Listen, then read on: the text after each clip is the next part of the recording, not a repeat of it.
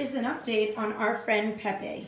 So we had sent you a video actually for you to see of the night before he was having his eye removal surgery. If you remember, he was a sweet, and he still is, adorable kitten. He had an eye infection that was untreated when he was a baby from being outside.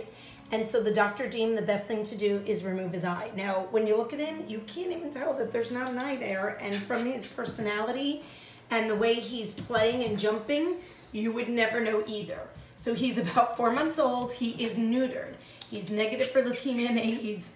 He's a bag of beans, as you can see. Um, he'll still need one distemper booster and rabies vaccine, which we will take care of. But this guy is fantastic with a capital F. We all love him. He's adorable. He is going to be coming into the shelter the last week of July to stay. He's in foster care for this last weekend, but we're giving you a sneak peek because you know what? He's unique, he's special, and he deserves a great home. So if you're looking to make a difference to a kitten in need who is just oh so cute, uh, this is Pepe, and uh, we can't get him. Oh, I thought maybe he was going to sit still for a second, people, but he won't. Uh, we're trying to keep up with him, but he is adorable. He's sweet, again, homegrown, a purring machine, and oh so cute. So come on in, meet this guy Pepe who's hamming it up, and uh, give him a chance. Give him a home. Come in and meet him. See what you think.